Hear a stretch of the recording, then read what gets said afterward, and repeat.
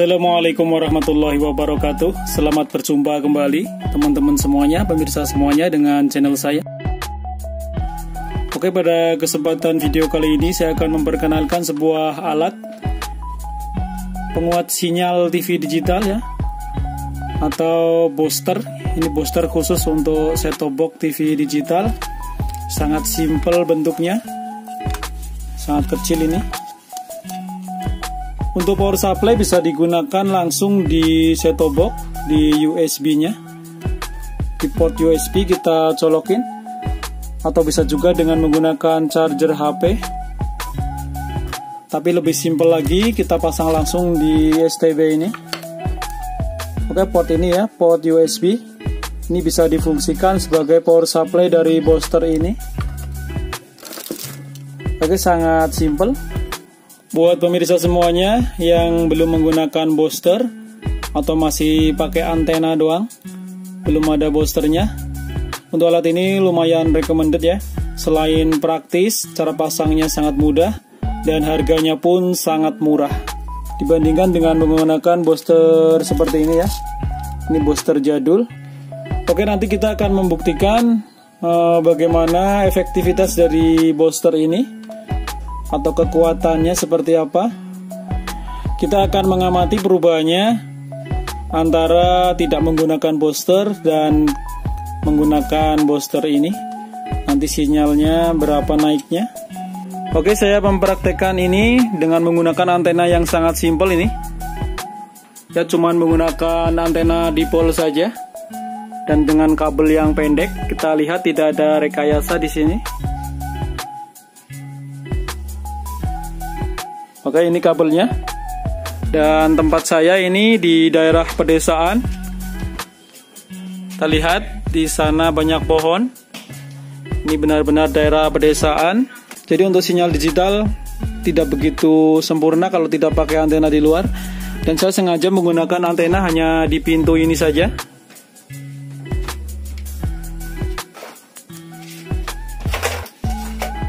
Oke, kita lihat di sini. Saya cuma pakai antena dipol dan saya taruh di atas pintu itu.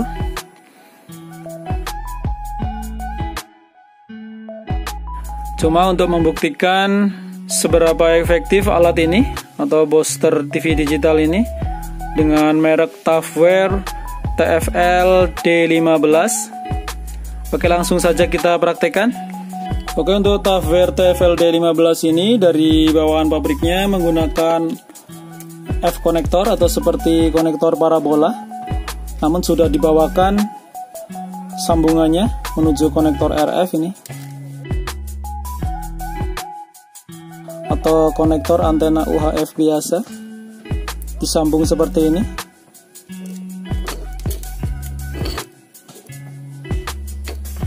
Cara instalasinya seperti itu. Lalu kita pasangkan di input antena RF nya ini. Antena in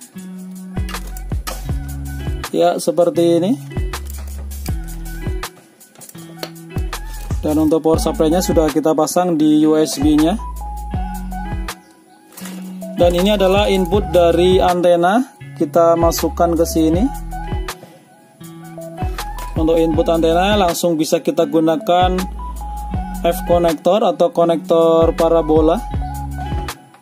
Seperti ini. Kita sambung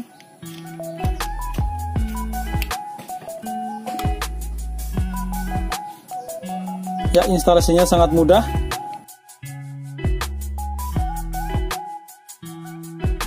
Oke, langsung kita praktekkan untuk kekuatan sinyalnya.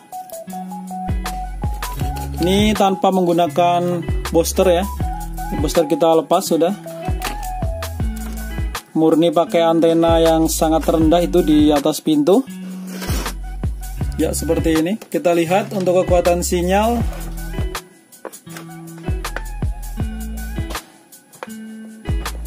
Ini di muknya MNC Group atau RCTI dan kawan-kawan.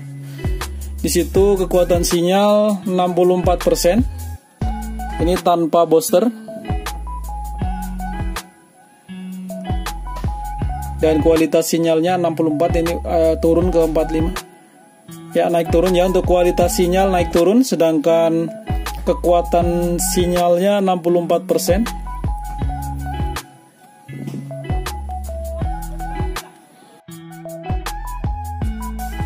Ya, kita beralih ke Net TV.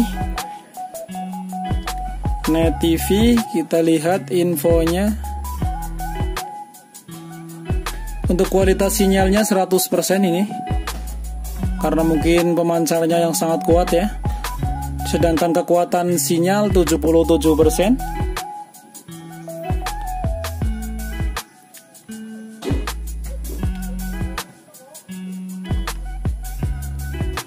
ini sama muknya ya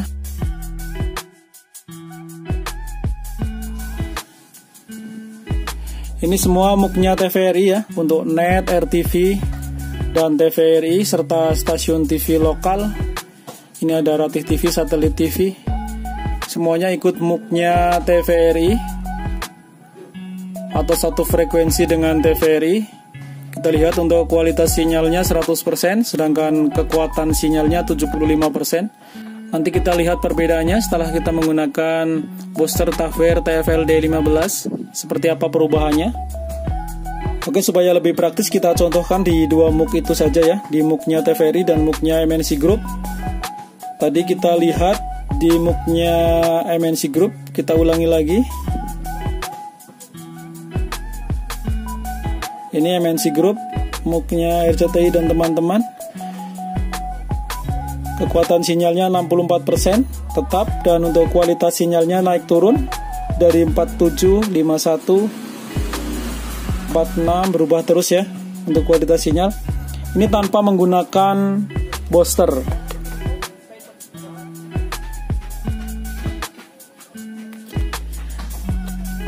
Oke, sedangkan untuk MUK TVRI tadi 75% untuk kekuatan sinyal, sedangkan kualitas sinyalnya 100%. Oke, langsung kita pakai boosternya.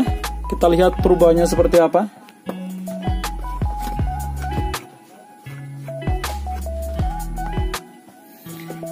kita harus lepas ini dulu konektornya kita sambung untuk lebih praktisnya teman-teman atau pemirsa semuanya bisa merubah ini ke jack antena biasa ya. Biar langsung tancap.